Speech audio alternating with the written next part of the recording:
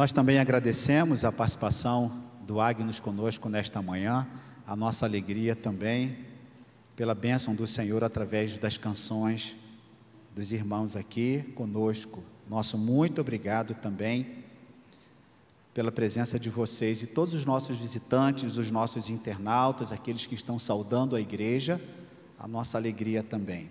Irmãos, a palavra desta manhã ela tem a ver com instrução e com ensino. Eu queria que você abrisse a sua Bíblia, Colossenses no capítulo de número 3, o verso de número 16, um texto muito rico que tem muitas informações num texto só. Ele aborda vários assuntos num só verso. É um texto muito rico, com muitas instruções, muito conteúdo, em poucas palavras, mas eu quero pensar esta palavra instrução, que aparece na palavra de Deus inúmeras vezes, da seguinte forma: instrução ou instruir aparece 97 vezes no Novo Testamento só na forma verbal, 30 vezes na forma nominal e 58 vezes referindo-se aos seus agentes ou à própria instrução e aos mestres, aqueles que ensinam. E é um tema muito recorrente na palavra de Deus, porque toda a Bíblia ela é utilizada para ensino, para correção, para instrução. Aquilo que nós vimos aqui pela manhã, os embaixadores do rei, eles estão sendo instruídos, ensinados na palavra de Deus. A escola dominical tem a sua função de ensino, o púlpito tem a sua função de ensino, e todas as atividades da igreja deveriam também caminhar neste sentido, na produção não só de conhecimento, mas na instrução, no ensino, no cuidado que nós devemos ter uns com os outros. E o texto nos mostra assim, Colossenses capítulo 3, o verso de número 16: Habite ricamente em vós a palavra de Cristo Instruí-vos e aconselhai-vos mutuamente em toda sabedoria, louvando a Deus com salmos e hinos e cânticos espirituais, com gratidão em vosso coração. Quando a Bíblia aborda a questão do ensino, ela quer nos preparar para a nossa autonomia. Não é uma autonomia diante de Deus ou dos irmãos, criando uma independência como se eu dissesse: não preciso de Deus, não preciso dos irmãos. Não, não é isso. Mas a Bíblia ela caminha no sentido de promover o ensino para maturidade, crescimento, controle e, naturalmente, o próprio conhecimento que nos traz inúmeras vantagens de conhecer a palavra de Deus e assim seguir aquilo que ela prescreve. Mas a palavra de Deus, quando trabalha a questão do ensino e da instrução, ela quer também nos preparar para a nossa caminhada, para a instrução de cada pessoa. E como é bom perceber aquele profissional que é instruído na sua área, como é bom ser atendido em qualquer situação, seja na área médica, seja numa repartição pública. Em qualquer lugar, num bar, num restaurante, num local de lazer, você ser recebido por uma pessoa que está bem instruída. Você vai comprar o seu carro, o seu automóvel e você pergunta à pessoa aqui, assim, o que para que serve esse botão? Qual é a função aqui descrita neste manual?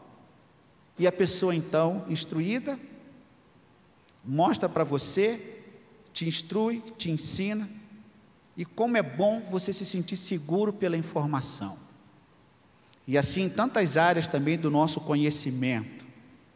Imagine se nós tivéssemos que carregar para sempre a figura do instrutor da autoescola, que uma vez esteve conosco ao nosso lado nos instruindo, e nós sempre necessitávamos, necessitaríamos da sua presença com ele, com é, ele conosco, e não seria necessário mais, porque nós aprendemos a dirigir. De alguma maneira adquirimos autonomia e independência. Não precisamos mais do instrutor sempre conosco, porque nós passamos a caminhar. Na vida cristã, nós precisamos a caminhar, mas nós precisamos aprender a caminhar uns com os outros. E a Bíblia então nos mostra o privilégio de aprender e aprender da palavra de Deus, e é um grande privilégio aprender um conteúdo, um manejo, uma ação específica, como é bom aprender. Independente da idade, nós vivemos numa época em que não há limites para o aprendizado, não há idade limite para aprender alguma coisa. Os idosos estão aprendendo, as crianças estão aprendendo, todos estão aprendendo. E por que não aprender de Deus?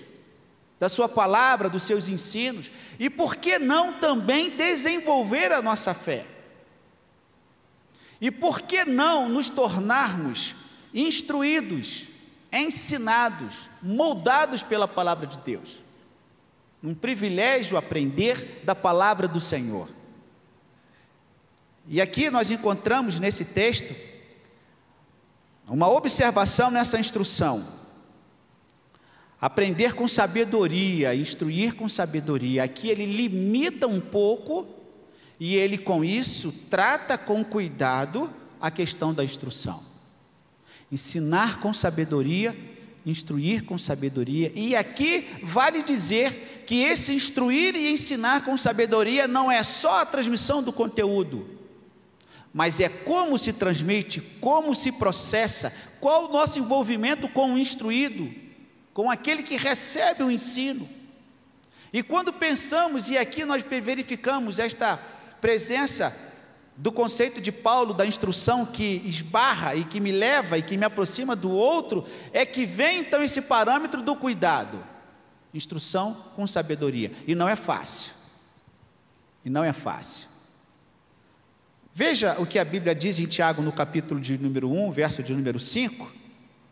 Porque o requisito da sabedoria, ele é essencial também, é importante que não apenas saibamos o que vamos instruir, mas como instruir, como ensinar uns aos outros.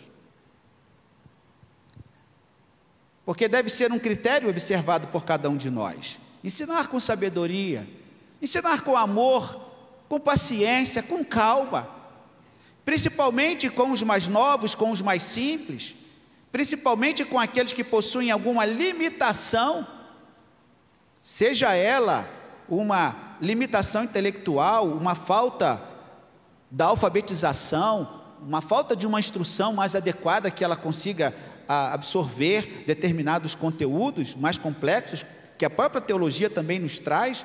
A teologia possui termos difíceis e complexidades inúmeras. Haja visto você perceber a questão escatológica, que é complicado entendermos tanta coisa. Daí esta sabedoria que Tiago nos mostra, capítulo 1 de Tiago, no verso de número 5: se alguém tem falta de sabedoria, peça a Deus, que dá a todos liberalmente. Essa instrução que deve ser acompanhada com sabedoria, com cuidado, com esmero, levando em consideração sempre a figura do outro, do ensino, nem todas as pessoas, muitas vezes, recebem o mesmo ensino da mesma, da mesma forma, com a mesma impressão. Como que ele pode causar determinado desconforto através do ensino, e daí o cuidado, e daí a palavra temperada com sal, e daí aquela paciência que é própria no processo do ensino, como aquele professor que começa a ensinar as primeiras letras, as sílabas, as palavras, as frases, os períodos e todo o conteúdo e toda a história. A vida cristã também é assim. Por isso que Paulo coloca essa palavrinha importante, que deve ser uma palavra que devemos trazer no nosso processo instrucional. Eu ensino, mas como eu ensino? De que maneira eu ensino? Qual é a palavra? Qual é o meu gesto, quais são as minhas atitudes nesse processo de ensino. É bem verdade que ninguém gosta de ser instruído de qualquer maneira, não é verdade? Você conduz o seu automóvel, você comete uma infração, e aí o responsável pela fiscalização te aborda de maneira educada, calma, te mostra o erro, e você então diz: Ok, pode destacar a multa, eu vou corrigir, vou pagar, ok. Mas quando a pessoa que vai te autuar e vai te multar chega com grosseria, chega com força, qual que é geralmente a nossa reação? A nossa reação muitas vezes é de revidar da mesma forma. E assim vale para qualquer situação dos nossos relacionamentos. Por isso que a palavra ela é muito criteriosa, ela é muito cuidadosa. A Bíblia prima muito por esses detalhes importantes. Instrução e ensino, mas como? De que maneira? A Bíblia nos mostra inúmeros textos a partir dessa perspectiva do uso da sabedoria. Veja comigo Provérbios, capítulo de número 1. Provérbios, capítulo de número 1. Aliás, todo o livro de Provérbios é um livro dedicado à sabedoria. E eu diria mais: toda a Bíblia, de Gênesis a Apocalipse, é um livro que trata de sabedoria.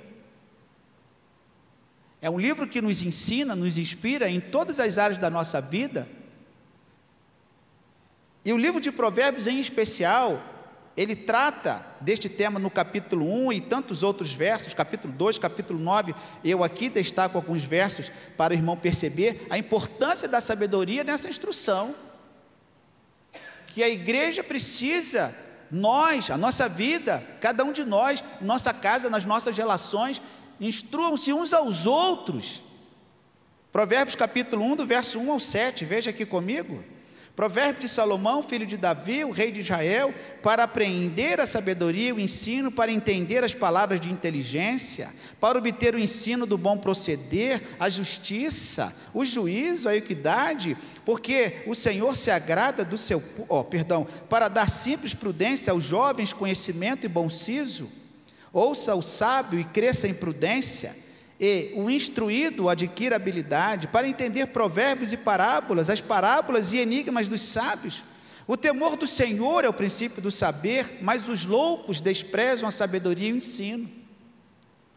A Bíblia é tão cuidadosa com esse processo. É por isso que há carinho com os nossos embaixadores, com as nossas mensageiras a cuidado com eles, como que eles estão vivendo, e não simplesmente abrir a mente e a cabeça dessas crianças e colocar a palavra de Deus como se fosse uma imposição. Não, veja como ensina, veja a palavra, veja o seu método, qual é a ferramenta. O que está produzindo na mente dessas pessoas? Qual o comportamento que está sendo gerado a partir dessa instrução? Se o resultado é positivo, é benéfico, está sendo então a instrução passada de maneira correta, naturalmente? Naturalmente? Se está havendo cuidado também com a transmissão do conhecimento, com a instrução, o resultado está sendo positivo, está havendo um ganho.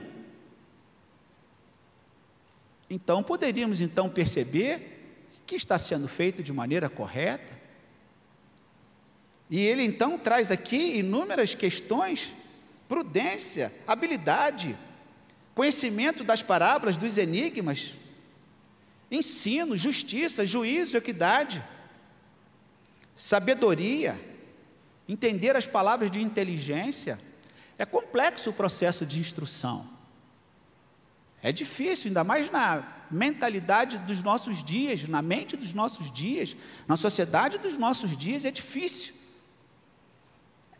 da própria complexidade que nós vivemos, ideológica e tantas outras coisas mais. Mas veja o capítulo 2, o verso de 1 a 6 também, passe a página. Capítulo 2, versos de 1, os versos de 1 a 6. A excelência da sabedoria, filho meu, se aceitares as minhas palavras e esconderes comigo, contigo os meus mandamentos, para fazeres atento à sabedoria o teu ouvido e para inclinares o coração ao entendimento, e se clamares por inteligência e por entendimento alçares a voz, se buscares a sabedoria como a prata e como te, a tesouros escondidos, a procurares, então entenderás o temor do Senhor e acharás o conhecimento de Deus, porque o Senhor dá sabedoria e da sua boca vem a inteligência e o entendimento. A verdadeira sabedoria começa em Deus, buscando ao Senhor. Ele é a fonte da sabedoria.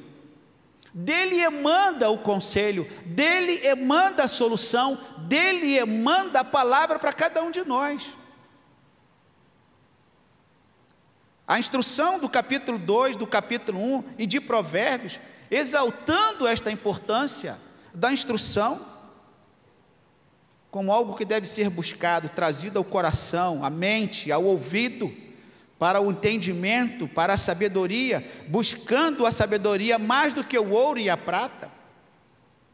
Então entenderás o temor do Senhor e acharás o conhecimento de Deus. O conhecimento de Deus está no próprio Deus e no relacionamento com o próprio Senhor. Mas uma última referência no livro de Provérbios para passarmos e seguirmos. O capítulo 9. O capítulo 9. Os versos 9 e 10. Provérbios capítulo 9, os versos 9 e 10. O tema aqui da palavra na área, a revista e atualizada, é o banquete da sabedoria. E se o irmão perceber, se a sua Bíblia tem as referências, é a excelência da sabedoria, banquete da sabedoria, a eternidade da sabedoria. O livro de Provérbios é este livro que trata desta sabedoria. É um tema muito recorrente na Bíblia, deveria ter mais a nossa atenção. Capítulo 9, os versos 9 e 10, dá instrução ao sábio e ele se fará mais sábio ainda. Instrua o sábio, ele vai se fazer mais sábio ainda. Ensina o bom menino a boa menina e ele ficará melhor. Ensina o bom crente, fiel, obediente. Instrua o teu irmão, que já apresenta algumas boas e qualidades destinadas ao mandamento, à obediência, e ele vai ficar melhor. Aprimore o teu irmão, perceba o teu irmão, perceba a vocação, perceba o estilo, perceba a dedicação, perceba os frutos. Esteja atento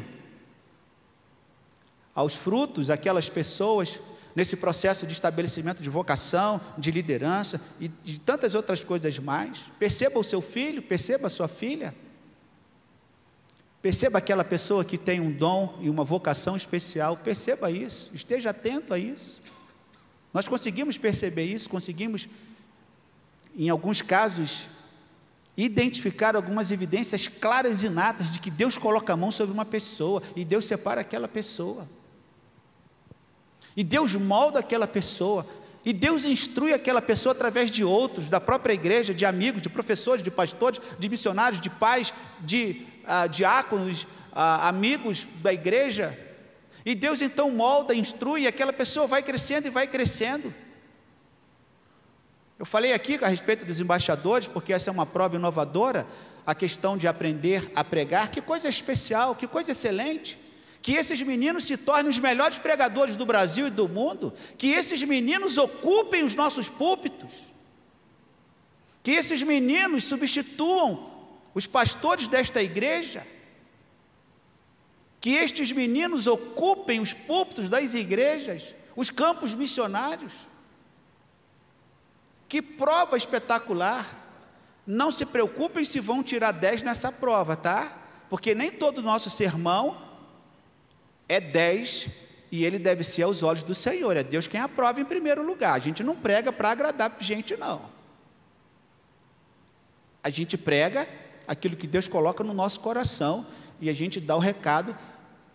É claro que nós somos avaliados, mas o compromisso de vocês deve ser, em primeiro lugar, com Deus e ensinar a pregar os embaixadores do Rei. Que coisa maravilhosa, que coisa inovadora, que coisa especial.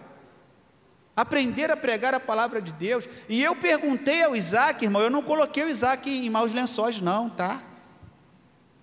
Que alguém pode ter pensado, nossa, o pastor Davi fez uma pergunta para o Isaac, é porque eu ensinei para ele aquilo. Eu sabia o que eu iria perguntar e eu coloquei a prova. Eu chamei ele um dia desse no cantinho e falei assim: Olha só, meu irmão, você vai pregar lá nos embaixadores do rei, tem que ter pelo menos três coisas. Você faz uma introdução, você desenvolve o tema e você faz a conclusão. Existem alguns parâmetros, existem algumas regrinhas. E ele então aprendeu, ele foi instruído. E ele veio aqui e disse: os três pontos: introdução, desenvolvimento e conclusão, e eu tenho que concluir daqui a pouco por causa da nossa hora. Mas como que é importante o processo da instrução? Ah, esse menino não vai dar em nada. Ah, irmãos, quantas pessoas já ouviram isso? Quantas pessoas já foram condenadas na própria igreja? Esse aí não vai dar nada. Esse aí vai ser um péssimo pastor. Na minha época de seminário, nós tínhamos alunos brilhantes, nenhum deles, muitos deles, deixa eu corrigir minha palavra, não é que muito, é, nenhum deles, alguns dos bons, dos brilhantes, sequer estão na igreja, sequer estão na fé. Alguns alunos que tiraram as melhores notas, isso não quer dizer que eles serão bons pastores. Como às vezes um mau seminarista não quer dizer necessariamente que ele vai ser um mau pastor, não. Às vezes ele errou tudo que tinha que errar lá na época do seminário para não errar no ministério. Então, como é importante a questão que está sendo posta aqui nesta manhã da instrução: instruir-vos uns aos outros. Você pode ter ao seu lado uma pessoa que, sendo instruída, poderá dar muitos frutos. Então tenha cuidado na maneira como você vai lidar com isso. Você pode abafar uma vocação, uma mente brilhante, em virtude da má instrução ou da má percepção e da má ferramenta que você vai aplicar para uma determinada situação. Cuidado. Você pode frustrar um sonho você pode brecar uma carreira. Você pode abafar uma missão. A Bíblia continua, 2 Timóteo capítulo 3, versos de número 14 e 17, olha o que a Bíblia diz quando ela se utiliza de uma maneira muito mais abrangente. 2 Timóteo capítulo 3, Veja o que diz aqui, os versos 14 a 17. Eu preguei nesse texto não tem muito tempo. Tu, porém, permanece naquilo que aprendeste, de que foste inteirado, sabendo de quem o aprendeste, e que desde a infância sabes as sagradas letras, que podem te tornar sábio para a salvação pela fé em Jesus Cristo. Toda escritura é inspirada por Deus e é útil para ensino, para a repreensão, para a correção, para a educação na justiça toda a Escritura, toda a palavra de Deus. E o entendimento aqui desse texto é exatamente este: que toda Escritura é toda a palavra de Deus, que é utilizada para instrução, para correção. E é por isso que Paulo, lá em Colossenses 3,16, vai falar: instruí-vos em sabedoria. Porque nós não sabemos muitas vezes, não temos como mensurar o poder que aquela palavra trará e provocará na mente de uma pessoa. O que Deus vai fazer com aquela palavra que aquela pessoa ouve num congresso, ouve numa mensagem, ouve no rádio, ouve pela internet uma mensagem? O que Deus vai fazer com aquela pessoa, com aquela frase que fica na cabeça daquela pessoa, que é um divisor de águas, muitas vezes na experiência espiritual de alguém? Como que aquilo fica? Isso é instrução. Então Paulo fala com sabedoria, com sabedoria. O famoso convite de Jesus Mateus capítulo 11, verso 29. Aprendei de mim que sou manso e humilde de coração. Abra aí, Mateus 11, 29. Quando Jesus fala também do ensino, da instrução a respeito da própria pessoa. Eu aprendo teologia, eu aprendo eclesiologia, eu aprendo teologia sistemática, eu aprendo administração, eu aprendo regimento interno, eu aprendo estatuto, mas eu aprendo de Cristo e nada deve substituir. E é por isso que Jesus fala aqui em Mateus no capítulo 11, o verso de número 29, veja comigo. Jesus fala: Tomai sobre vós o meu jugo e aprendei de mim, porque sou manso e humilde de coração. Aprender de Jesus, o nosso maior instrutor, aquele que sofreu em todas as coisas que a Bíblia diz foi levado para o matadouro e sequer abriu a sua boca. Aprendei de mim. Jesus seria a pessoa que mais apresentaria sinais de revolta. Talvez o homem mais revoltado seria ele, mas em tudo ele não abriu a sua boca. Ele tinha a sabedoria de Deus, ele se tornou manso, humilde de coração. Aprendei de Jesus. Apóstolo Paulo, o alvo do seu apostolado era também o ensino. Eu poderia aqui discorrer um pouco mais sobre este ensino do próprio apóstolo Paulo. Qualificação para instruir, para a gente concluir. Quem pode instruir? Todos em tese poderiam ensinar, todos em tese poderiam instruir. E aí, novamente, aquilo que Paulo fala em Colossenses 3,16, com sabedoria, ensinar, com amor, com cuidado, com respeito com bom senso. Ensinar é um dom. Ensinar é um dom, irmãos. Todos podem ensinar, mas o dom do ensino ele é bem especificado na Bíblia, juntamente com outros. E nós poderíamos definir e conceituar o dom do ensino como a capacidade divina para entender, explicar claramente a palavra de Deus na vida dos ouvintes, fazendo com que se tornem cada vez mais semelhantes a Cristo. Então, a definição, a conceituação de, de ensino como dom na Bíblia, ela vai além do reter uma informação e um conhecimento. Ela vai além do apenas entender ou conhecer uma doutrina, ele precisa ter a capacidade de explicar aquele assunto, tornar acessível aos seus ouvintes e produzir mudança na vida das pessoas. A pessoa que tem esse dom, ela tem isso, ela tem essa habilidade, essa capacitação divina para ensinar outras pessoas. Ela tem a sabedoria que vem junto com o ensino. Geralmente, geralmente, quem tem o dom do ensino tem dom da sabedoria. Geralmente, são coisas que andam muito ligadas. Não é correto, meu irmão Herbinho? Irmão Herbinho é especialista em dons e ministério aqui na nossa igreja. Quer perguntar alguma coisa, pergunte a ele. Ele que conhece bem, já estudou esse assunto profundamente. Geralmente, quem tem o dom do ensino tem o dom da sabedoria. Esta capacitação divina.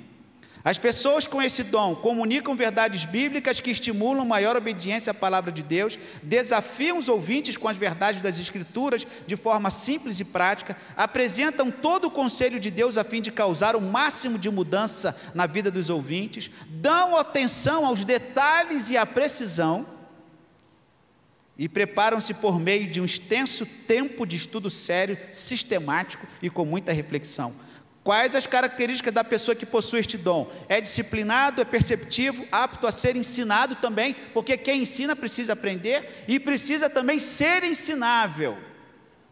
Aprender também. Características: tem autoridade, é prático, é analista e também é capaz de falar. Se não souber falar também, aí a gente vai desconfiar se o indivíduo tem o dom do ensino. Se ele não é capaz de pronunciar uma aula ou ah, um estudo, a gente vai ficar na dúvida se de fato ele tem dom do ensino. Ele pode ter boa vontade, mas não propriamente o dom. E o cuidado que as pessoas devem possuir com esse dom quem tem o dom do ensino deve evitar o orgulho que poderia resultar em um entendimento ou um conhecimento privilegiado, achando que só a pessoa tem aquele conhecimento e aquela informação. Deve evitar que as pessoas se prenda a determinados detalhes e falhar nas aplicações de ordem prática Devem lembrar também que a espiritualidade não é medida pelo quanto sabemos, o quanto de conhecimento eu tenho, não é isso. Quantas pessoas que não sabem ler uma palavra, mas são pessoas que têm muita sabedoria. E aí, irmãos, nós então concluímos para refletir. É preciso que nós pensemos naquilo que o apóstolo Paulo nos mostrou. Instruir com sabedoria, instruir com amor, instruir com respeito, instruir a palavra do Senhor, para que você reflita nesta manhã. Quantas pessoas eu tenho instruído, tenho mostrado a vontade de Deus e tem provocado resultados positivos e benéficos. Que Deus assim nos abençoe, que Deus nos instrua e que Deus também nos torne capazes de nos instruirmos a nós mesmos em primeiro lugar. Vamos orar ao Senhor e vamos nos preparar para o momento da ceia, em que será ministrado agora com esta oração. Depois nós iremos ouvir o coro de homens e vamos então passar a celebração da ceia do Senhor. Pai, muito obrigado por esta manhã, muito obrigado por tudo aquilo que já ouvimos e vimos, pelos testemunhos, pela tua igreja que prossegue, ó Deus, para o alvo para a tua igreja que ainda não alcançou, mas prossegue para o alvo que está sendo proposto. Ó Deus, nós pedimos a tua graça, a tua misericórdia sobre nós, nesse momento da ceia do Senhor, que o Senhor ministra ao nosso coração, em nome de Jesus. Amém.